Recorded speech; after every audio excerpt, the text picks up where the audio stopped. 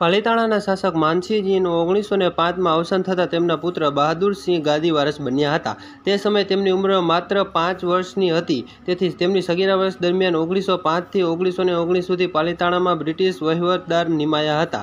બહાદુરસિંહજીએ રાજકોટની રાજકુમાર કોલેજમાં અને પછીથી ઇંગ્લેન્ડની શ્રેયસબરી શાળામાં શિક્ષણ મેળવ્યું હતું. તારીખ આવી અગિયાર ઓગણીસો ને ઓગણીસમાં તેઓ વયક્ષ થઈ જતા તેમને રાજવી તરીકેની સંપૂર્ણ સત્તા સોંપવામાં આવી હતી. ઠાકોર બહાદુરસિંહ ગોહિલ પાશ્ચાત્ય શિક્ષણ મેળવ્યું હોવાથી તેઓ ઉદાર અને પ્રગતિશીલ વિચારો ધરાવતા હતા. તેમણે રાજ્યનો વિવિધ ક્ષેત્રે વિકાસ કરી રાજ્યનું આધુનિકરણ કર્યું હતું. તેમણે પોતાની પ્રજાના કલ્યાણ માટે પણ અનેક કાર્યો કરી નામના મેળવી હતી. હવે આપણે ઠાકોર બહાદુરસિંહજી ગોહિલના પ્રજા કલ્યાણ કાર્યો વિશે જાણીશું, જેમાંનું પ્રથમ કાર્ય વહીવટ તંત્રમાં સુધારો.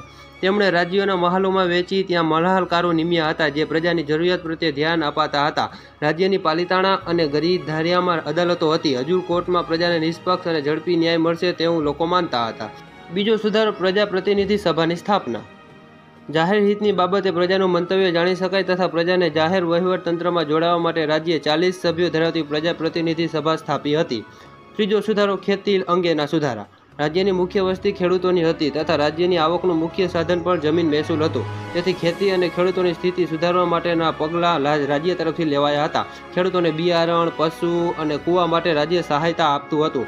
કંબોડિયા પ્રકારના કપાસનું વાવેતર સફળ ન થતાં મઠિયા જાતના કપાસનું વાવેતરને ઉત્તેજન અપાતું હતું. આમ ખેતી અને ખેતીલક્ષી અન્ય કાર્યોને પણ બહાદુરસિંહજીએ વેગ આપ્યો હતો. ચોથો સુધારો શહેર સુધરાઈની સ્થાપના. પ્રજાને સારી સગવડો મળી રહે તે માટે પાલિતાણામાં શહેર સુધરાઈ સ્થપાઈ હતી. જોકે તેનું સંચાલન અધિકારો દ્વારા થતું હતું. શહેરમાં સ્વચ્છતા ઉપર પૂરતું ધ્યાન અપાતું હતું અને રસ્તા ઉપર ગંદકી કરનારને દંડ અપાતો હતો. પાંચમો સુધારો સામાજિક સુધારા. સમાજની બદીઓ દૂર કરવા માટે રાજ્ય પ્રયત્નશીલ હતું. રાજ્યમાં કોઈ પણ સ્થળે હોટલ કરવાની પરવાનગી આપી ન હતી.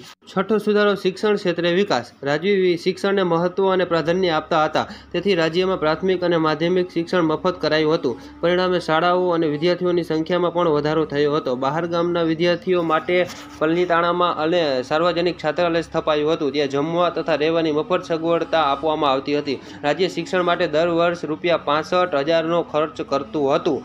આત્મ સુધારો દરબારી ગેજેટનું પ્રકાશન. પ્રજાને રાજ્યના કાર્યો અને કાયદા અંગેની જાણકારી મળી રહે તે માટે રાજ્ય દર મહિને ગેજેટ છાપતું હતું. આઠમું કાર્ય સંગીત તથા નાટકને પ્રોત્સાહન. રાજ્યની સંગીતકારોને રાજ્યશ્રેય આપતું હતું. રાજ્યએ નાટ્યવૃત્તિનું પણ પ્રોત્સાહન આપ્યું હતું. પાલિતાણા ભક્તિ પ્રદર્શન નાટક કંપની ગુજરાતની પ્રસિદ્ધ નાટક કંપની હતી. તેના માલિક મણિશંકર જયશંકર ભટ્ટ હતા. આમ બહાદુરસિંહજીએ સંગીત ક્ષેત્રે પણ અનોખું એવું પ્રદાન આપેલું છે. નવમો સુધારો કુટીર ઉદ્યોગને પ્રોત્સાહન. દેશી ભરતકામ, ચામડા કામના ઉદ્યોગો તથા પગરખા બનાવવાના કુટીર ઉદ્યોગોને પણ રાજ્ય પ્રોત્સાહન આપી પ્રજાની ચાહના મેળવી હતી. દસમો સુધારો બહાદુરસિંહજીના અન્ય કાર્યો. પાલિતાણા તથા ગરીબ ધ્યાનમાં ટેલિફોન એક્સચેન્જ સ્થાપી જરૂરી બનેલા સંદેશા વ્યવહારને સગવડતા વધારી હતી. પાલિતાણામાં લોકો માટે બગીચા પણ બનાવવામાં આવ્યા હતા. પૂર રાહત અને માનવ રાહત મંડળને પણ મદદ કરી હતી. મૂલ્યાંકન. બહાદુરસિંહજી ગોહિલ પાલિતાણાના છેલ્લા શાસક હતા. તેમણે જ આઝાદી સમયે ભારત સાથે જોડાવાના કરાર કરી નવા બનેલા સૌરાષ્ટ્ર રાજ્યમાં ભળવાનો નિર્ણય કર્યો હતો. તેઓ પોતે પાશ્ચાત્ય શિક્ષણ પામેલા ઉદાર અને પ્રગતિશીલ રાજવી હતા. તેમણે વિવિધ ક્ષેત્રે વિકાસ સાથે રાજ્યનું આધુનિકરણ કર્યું હતું. તેથી તેમને પાલિતાણાના આધુનિકરણના સર્જક પણ કહેવામાં આવે છે.